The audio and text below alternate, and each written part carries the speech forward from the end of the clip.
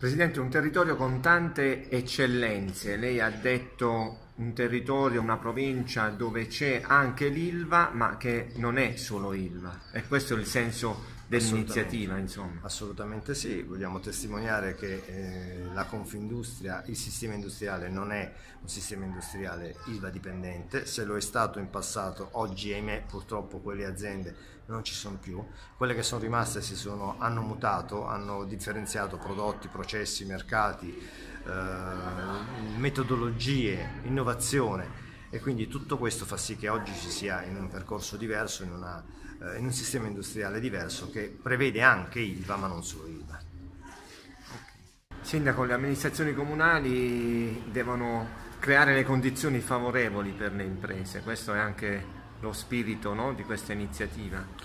Sì, assolutamente sì, noi dobbiamo avere un rapporto diretto con eh, i cittadini dobbiamo avere un rapporto diretto con le imprese, per cui dobbiamo oh, muoverci, dobbiamo avere un indirizzo che sia in linea con quelle che sono le richieste dei cittadini, amministrare e delle imprese. Amministrare senza avere questo tipo di rapporto non ha alcun senso, vorrebbe dire realizzare ed investire quelle poche risorse che si hanno per eh, dare luogo ad attività, ad iniziative che non hanno alcun senso e alcun riscontro dal punto di vista sociale ed economico. Per cui questo incontro, questa riunione, questa vicinanza tra le imprese, tra Confindustria e le amministrazioni locali certamente è positivo e certamente eh, rappresenta un tavolo al quale ci si può sedere importante da parte nostra per poter recepire in maniera ancora più eh, compiuta quelle che sono le richieste da parte delle imprese.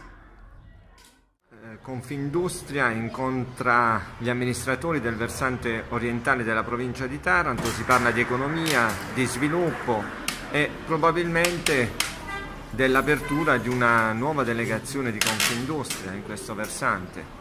È così?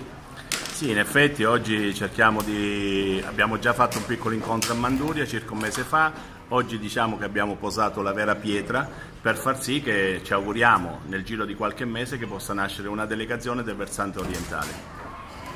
E questo che cosa significherebbe per quest'area che ha una forte vocazione agricola ma anche di piccola e media impresa? Ma noi naturalmente ci sono delle grandi potenzialità, oltre al discorso vinicolo, al discorso turistico, che naturalmente vogliamo mettere in evidenza.